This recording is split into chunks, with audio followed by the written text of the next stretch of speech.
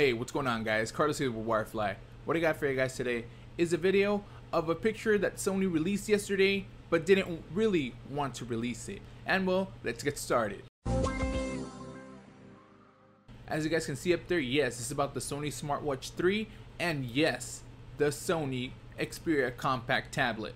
I don't know who's managing Sony's Facebook fan page, but whoever it is must be in big trouble. Because like I said, they mistakenly posted a picture about their smartwatch and a tablet. These products are set to be announced next week on IFA, so I guess someone got a little bit ahead of time. Like every other time when a company makes a mistake on posting a picture, they try to remove it immediately but as soon as a picture is up on the internet, it's there for everyone to see. Doesn't matter if it's up there only for a millisecond, if someone gets to see it, they're taking a picture and it's sharing on the internet and it's all over the world. The tablet on the picture looks like the rumored Xperia compact tablet, which is a smaller version of the Z3 tablet. It's an 8 inch tablet and it's made to compete directly with the iPad mini. What I'm surprised about though is the Smartwatch 3. The Sony Smartwatch 3 has always been made out of rubber and I thought this version was going to be made out of, I don't know, a higher quality material. Yes, there's a version of the Smartwatch 2 that has a stainless steel band all the way around, but the main one that was released was made out of rubber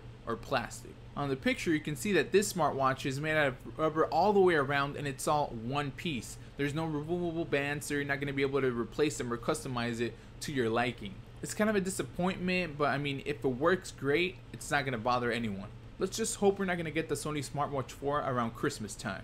And that was pretty much it for this video. Like I said, someone in Sony is in big trouble for posting these pictures. But personally, I like when pictures are being leaked and we get to see a little sneak peek on what's coming up on IFA 2014. But anyways, don't forget to subscribe to this channel. And that was it for me. I was Carlos with Wirefly, and I will see you guys in the next video.